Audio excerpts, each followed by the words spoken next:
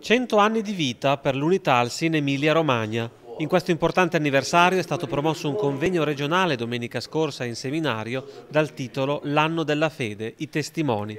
A guidare le riflessioni Monsignor Adriano Caprioli, vescovo emerito di Reggio Emilia e Guastalla.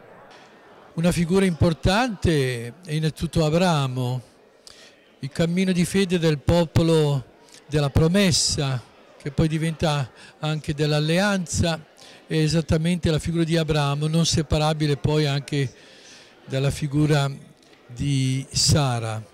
Abramo è stato uno che ha creduto, ha obbedito nella fede a una promessa innanzitutto. All'incontro, prima della celebrazione eucaristica, è intervenuto anche l'assistente ecclesiastico regionale, Monsignor Guiscardo Mercati, che ha parlato anche della devozione mariana di Papa Francesco.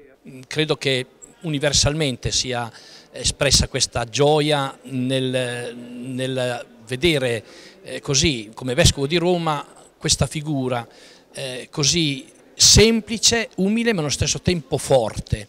Mi ha dato questa sicurezza, una sicurezza di un uomo che ha ben chiaro una cosa, che nella Chiesa ognuno è pietra viva. Lui è chiamato ad essere una pietra significativa, ma ha bisogno che ci sia anche tutto l'altro edificio, tutte le altre pietre. Tutti cristiani, ma anche a tutti gli uomini